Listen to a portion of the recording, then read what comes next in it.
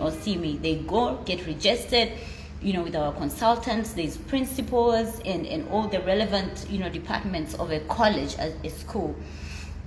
And that's how they handle their business. They don't see me. They don't even talk to me.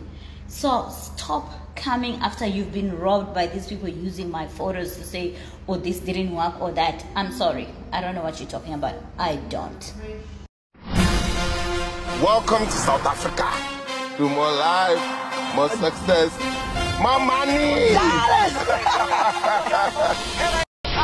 Zari, the boss lady. I'm a boss lady who works so hard and I acquire everything that I want because I work hard. And that makes me a boss lady. I'm also a mother. I have five kids. Three are from my ex and the two small ones are from Diamond.